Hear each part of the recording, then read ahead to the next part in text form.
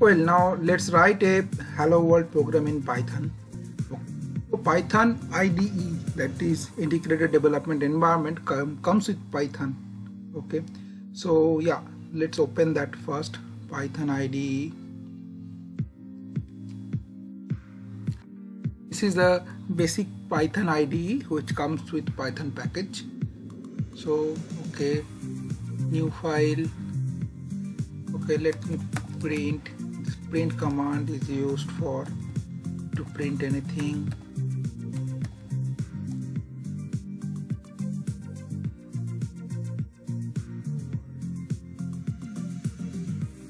Save the file.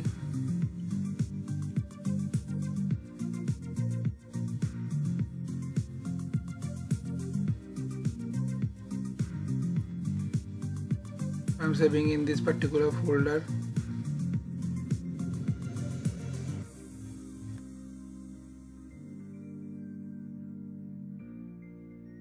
hello world.py python files must be extension with py okay now let's run the file.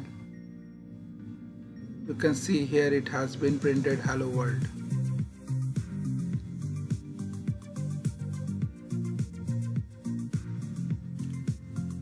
Now going back to this I'm writing print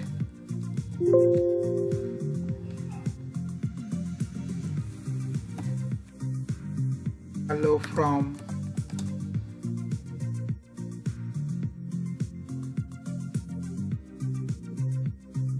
save and run.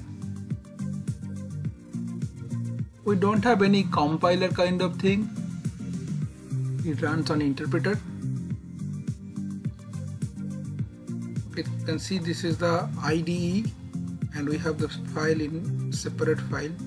That is hello hello python okay you can see the command is so simple human readable type of command. Like you were we are just writing print and it is printing the in the console. We don't need to put any semicolon or any any such kind of indicator to closing the command. Python is kind of it is structured. We need to write structured thing. Like if i write python like this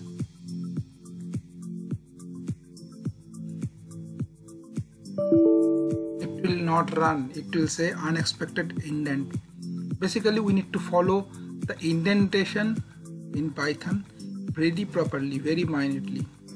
Indentation is the main thing of the python programming